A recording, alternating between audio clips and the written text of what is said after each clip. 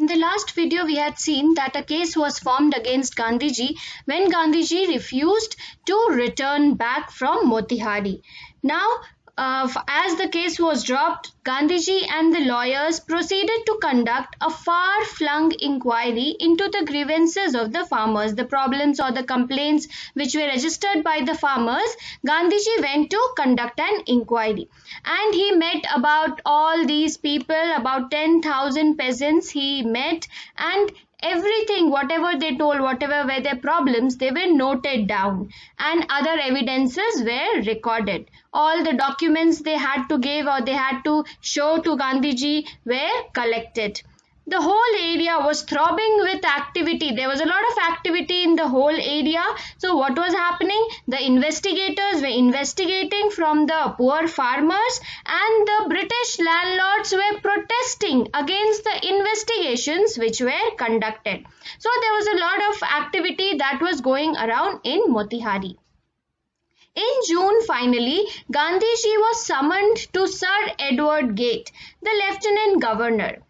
So Gandhiji was called by the Lieutenant Governor and before he met he his leading associates they again laid a detailed plan. It means that meeting with a high official there was a risk that Gandhiji would be arrested and so again they, lay, they laid detailed plans for the civil disobedience movement if Gandhiji would not return. Gandhiji had four protracted interviews with the Lieutenant Governor and as a result an official commission of inquiry into the indigo sharecropper situation was formed. An official commission was formed. Now this commission which had to inquire about the problem or about the problems presented by the peasants. This commission it consisted of all the parties, all the people.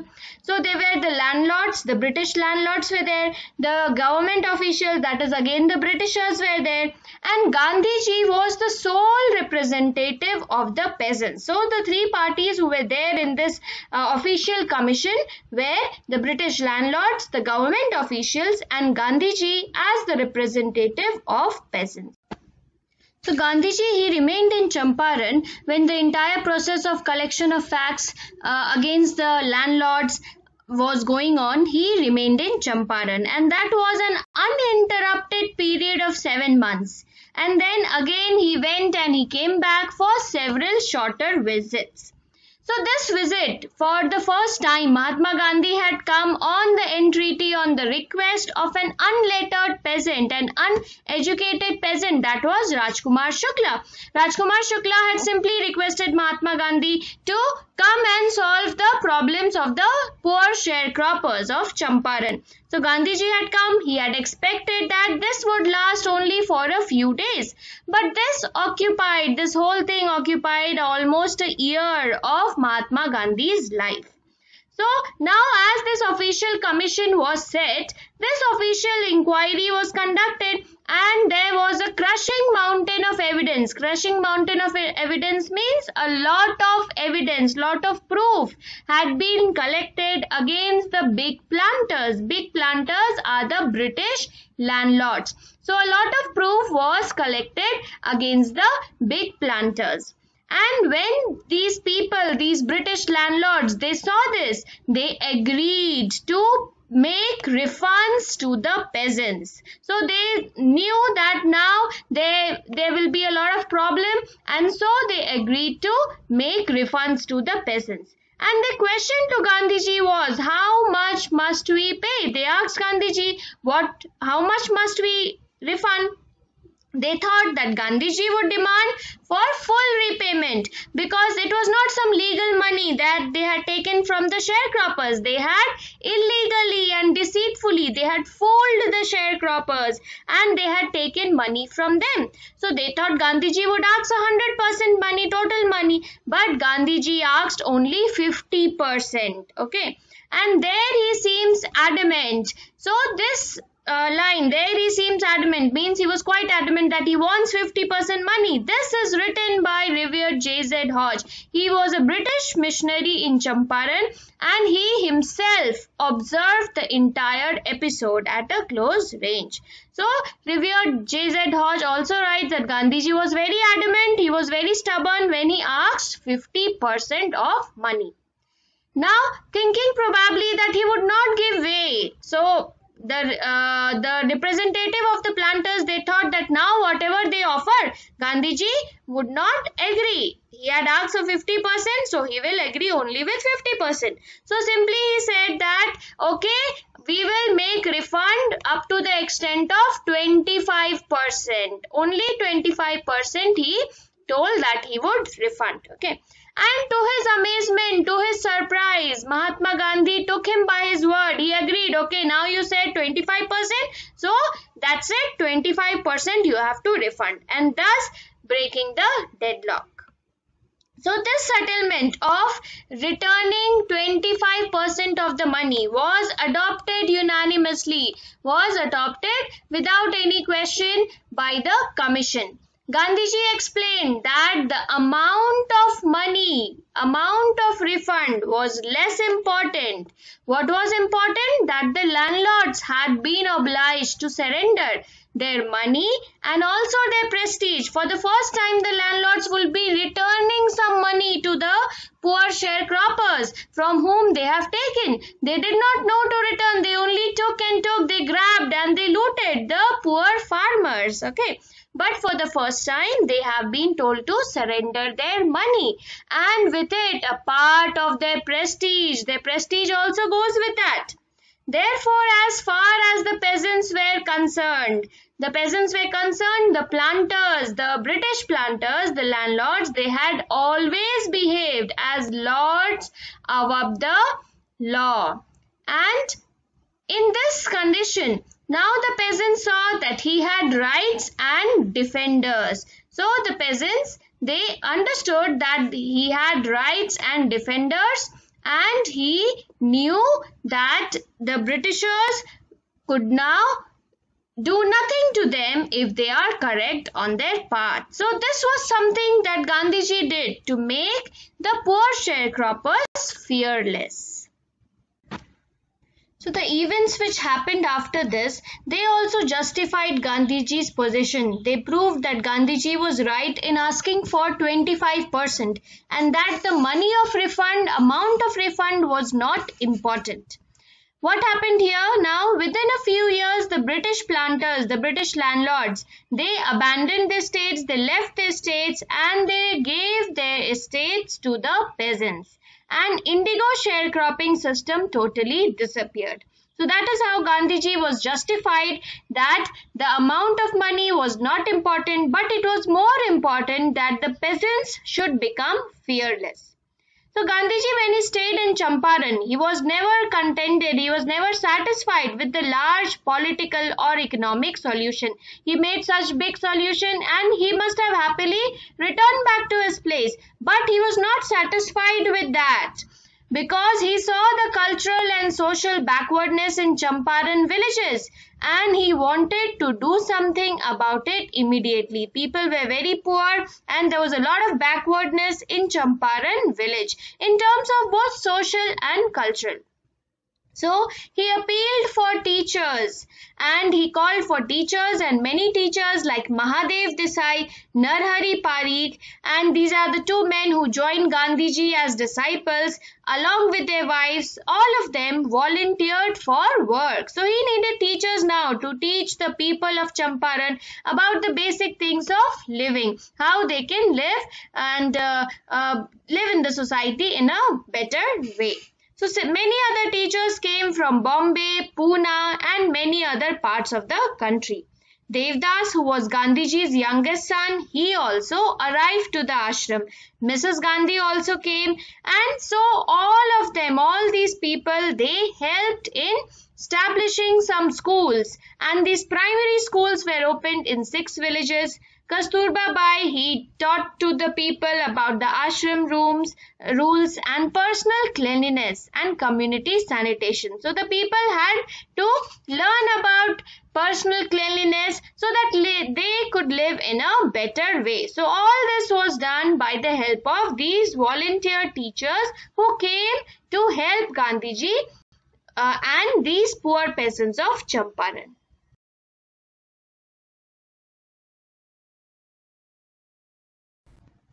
Health conditions were really poor in Champaran. They were really miserable and so Gandhiji got a doctor to volunteer his service for six months. A doctor came to help Gandhiji and he stayed in Champaran for six months. So in Champaran, only three medicines were available. These were castor oil, quinine and the sulfur ointment. Only these three medicines were available in Champaran. You can observe over here the pictures of this. This castor oil, it is obtained from the seeds of this plant, uh, Ricinus communis. And here you have this uh, quinine sulfate uh, drug which is made from this plant quinine. And you also have this sulfur ointment. So these were the three basic medicines which were available in Champaran. And with these itself, the entire uh, treatment was done. So anyone who came there with coated tongue, with eruptions on his tongue, he was given a dose of castor oil. Anybody who had malaria fever, they received quinine and castor oil. And anybody with some skin eruption, some skin related problems, they received the sulfur ointment and castor oil. So these were the basic three medicines with which all the treatment in Champaran was done. There was no other way to help these other help these people.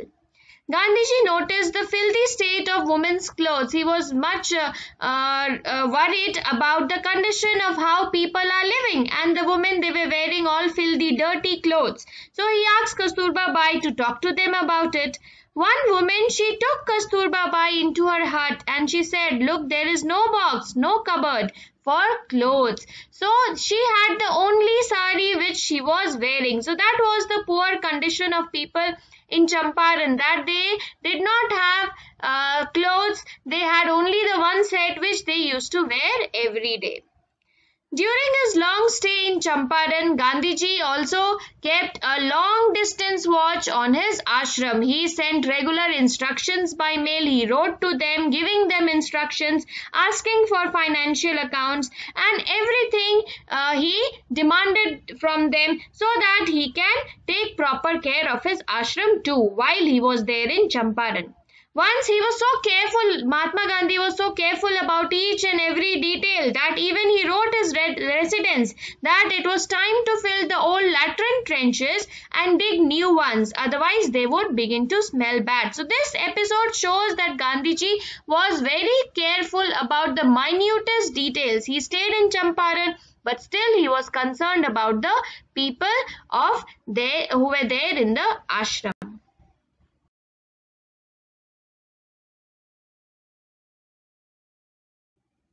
This Champaran episode is considered as the turning point in Gandhiji's life. Gandhiji tells that whatever he did was a very ordinary thing. He declared that the outsiders, that the British could not order me about in my own country. The foreigners cannot come and order us on our land. This is what he declared. But Champaran, he tells that it did not begin with an act of defiance. It was not like that Mahatma Gandhi had come straight away to fight the Britishers. It was simply an attempt to elevate the distress of a large number of poor peasants. He simply wanted to help the poor peasants to elevate the distress of the large number of poor peasants. So this was the typical Gandhi pattern. His politics were intertwined with the practical day-to-day -day problem of million. He did not come to fight the British straight away. His first motive was to help the poor sharecroppers. And this he tells his loyalty was not a loyalty to some abstract feeling, to some abstractions, but he was loyal to the living human being. He wanted to serve the people of India. That was his motive. In everything that Gandhiji did, he tried to mold a new free Indian. He tried to make the poor peasants fearless. He tried to uh, he tried to let them know that the Britishers, the outsiders, could not order on them on in their own land. So whatever he did, he tried to mold a new free Indian who could stand on his own feet. His main motive was to make the people of India self-reliant and thus ultimately it would make India free. Early in this Champaran episode, a person named Charles Freer Andrews, he was an English pacifist. Pacifist means a person who loves peace. So this Charles Freer Andrews, he was uh, he loved peace and he uh, became a follower of Mahatma Gandhi. He came to Mahatma Gandhi in Champaran to bid farewell because he was going going on a tour to Fiji Islands. Gandhiji's lawyer friends saw this and they thought that it would be a good idea if Andrew stays in Champaran and helps them because they were fighting against the Britishers and if they would have British on their side it would perhaps be very impactful.